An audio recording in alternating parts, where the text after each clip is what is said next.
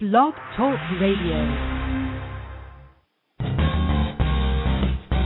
You're listening to the Digital Dave Radio Show live on Blog Talk Radio. Streaming since 2009, 2010, and now 2011. From the halls of WRBG 107.9 on your FM dial, and now streaming on Blog Talk Radio, here's Digital Dave!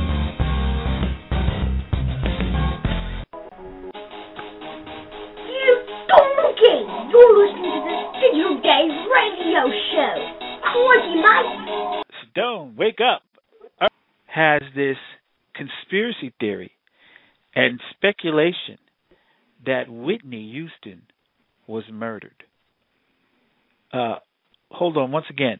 Let's see if we can uh, go back to the Stonester. Stonester, are you there? Digital Dave, are you there? Yes, Stone. Speak up. I cannot hear you. Are you there, Digital Dave? Yes, it's Stone from the Stone and Digital Dave Radio Show.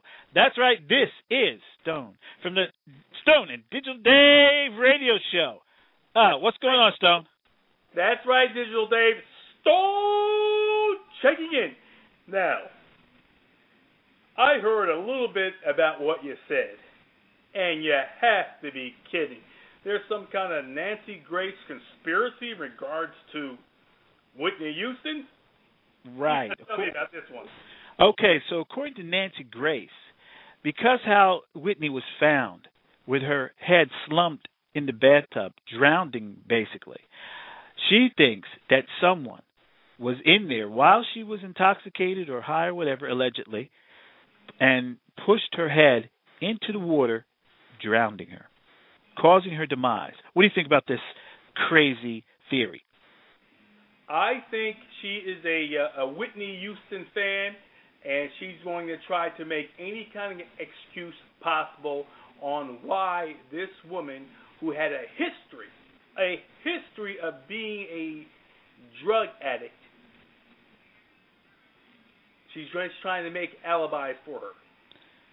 Yes, but isn't it kind of also grandstanding the situation and coming up with something so outrageous and out there that there's just no chance of it being true?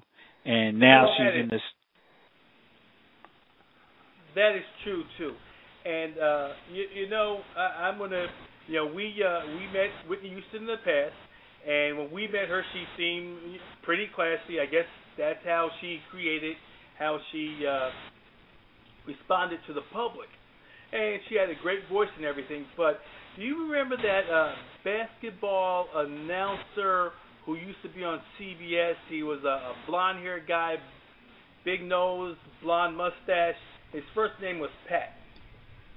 Pat, say, uh, Pat, uh, yeah, I know who you're talking about. Pat O'Reilly. Pat But you something else. remember I don't O'Reilly. remember his last name, but I know who you're talking about.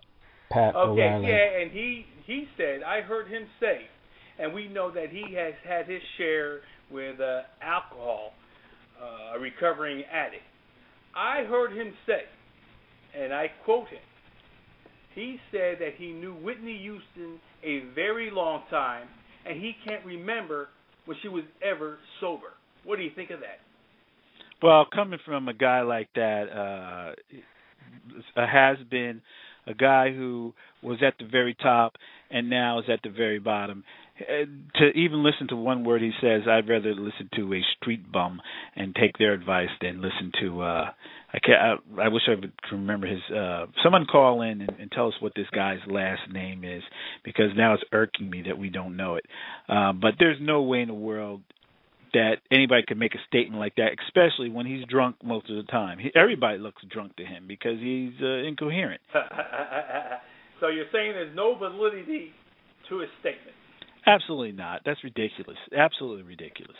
You've seen her on shows and stuff. She just got with the wrong crowd and got to partying and you know it happens to a lot of those superstars it happens to a lot of people in hollywood so it's no new story uh anna nicole smith i mean obscurity to stardom to drug Well, overdose Big Mr. Big Whitney Houston fan, I'm going to beg to differ. I'm going to tell you what happened here. Okay? Uh, I'm going to say this individual was a a a, street hood, okay, and then she got polished and refined and got a great career. And then along the way, you know, she did her uh, everything under the sun, and, and it's just amazing how all these individuals are trying to blame Bobby Brown. And if you remember, when I, they had that silly, silly uh, reality show, Whitney Houston came off the worst of the two. And actually, if you watch it, I began to uh, consider uh, Bobby Brown a, a decent guy, and Whitney Houston was the uh, the bad, the person, the rogue, the individual you just didn't want to be around. Well, you're so wrong, Mr. Peanut Breast. I'm telling you, I don't know where you're coming from. Whitney Houston is from the uh, Cissy Houston family, the religious, the Christian. She she grew up in the church. She was a choir girl. She was a uh, just a, a nice little uh, innocent girl. You could tell by her first videos.